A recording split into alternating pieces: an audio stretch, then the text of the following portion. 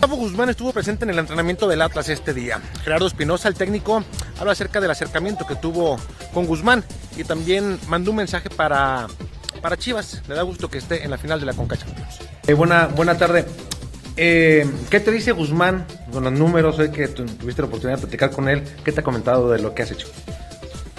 Está, está tranquilo, tranquilo definitivamente. Eh, se ha dado cuenta que estamos trabajando realmente, que estamos enfocados, peticiones con el equipo.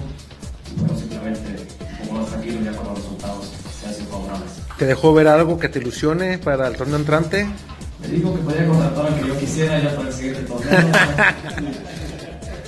Este, no, simplemente que, que continuara trabajando hasta ahorita. El siguiente torneo sí se empiezan a hacer planeaciones. eh, pero de mi parte estoy muy enfocado en lo que, en lo que estamos haciendo hoy. Oye, y finalmente de mi parte, ¿qué te parece que un equipo mexicano haya llegado, aunque es tu antagonista y rival próximo, eh, que haya llegado a la final de la Conca Champions?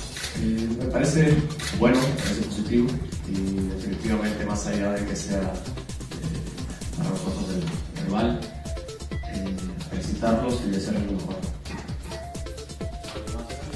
Espinosa, al igual que los jugadores, quiere terminar el torneo con tres victorias de manera consecutiva. Ya está también trabajando, haciendo el armado del equipo para el torneo entrante, en lo que la directiva le dice si continúa o no.